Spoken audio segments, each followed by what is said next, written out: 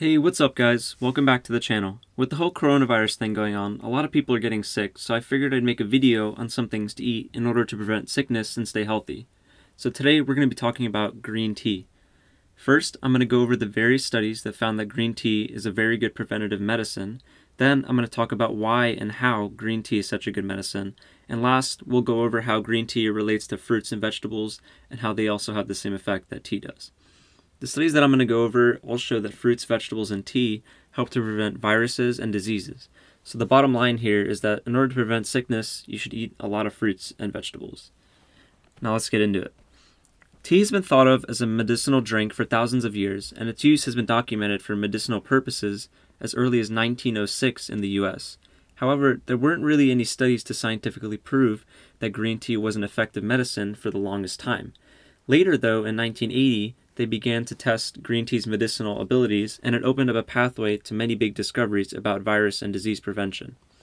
So, in that first study done in 1980, they started testing green tea by putting green tea ointment into little trays called petri dishes that had viruses on them and saw if the tea was able to kill the viruses.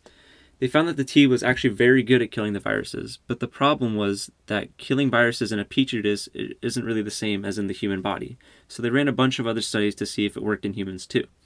The first study was on people who had genital warts, which is called which is a common and very infectious disease, and the researchers put green tea ointment on the warts and it worked very well. The green tea ointment was able to completely get rid of the warts in around 50% of the cases. This study helped show for the first time that green tea was a very strong medicine for humans, but there were even more studies done on this to further prove it. There are actually two more. In another study, researchers gave green tea every day to some healthcare workers and didn't give any to the others. After a certain amount of time, they found that those who drank the green tea got the flu three times less than those who didn't. Plus, they found that gargling green tea dropped the risk of getting the flu by seven or eight fold. This was a huge discovery. Green tea is extremely good for preventing infections and viruses. But why? Basically, green tea is good for preventing viruses because it boosts your immune system, which protects you from infection. Researchers found that drinking green tea increases the number and activity of gamma delta T cells that your body produces. Gamma delta T cells are essentially the first line of defense against infection in your immune system, so producing more and more of these is very good. It was even found that people who drank six cups of tea a day had a 15 fold increase in immune cell production in just a week. So the difference that tea makes in immune function is very large. This is why the studies we went over earlier found that green tea is so good for fighting viruses and infections. It causes such a large increase in immune function, so you're able to fight off infections way better than before.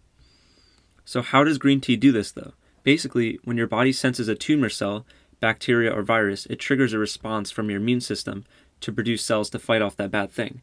However, plant products like fruits, veggies, and of course tea share a molecular pattern with those bad things I mentioned earlier, so when you eat fruits, veggies, and tea, your body has that same trigger reaction even though what you're eating is actually not bad for you. So if you eat fruits, nuts, and tea, fruits, veggies, and tea every day, your body will constantly be triggering the immune system response and constantly be stacking up immune cells like the gamma delta T cells. So if there is a real infection or virus, your body will be super ready to get rid of it before it becomes any real issue. This is why fruits, vegetables, and tea make people resistant to viruses and infections. They constantly trigger the immune system so it's ready for any real threats that need to be fought off. It's like a constant practice for your immune system. So bottom line here is to make sure you keep eating your fruits and veggies every day because they are a lot healthier for you than you know. You need to eat them to keep your immune system ready for attack so you can stay healthy and prevent viruses like the corona from getting into your system and causing a problem. Anyways, that's all for today's video. Hope you enjoyed.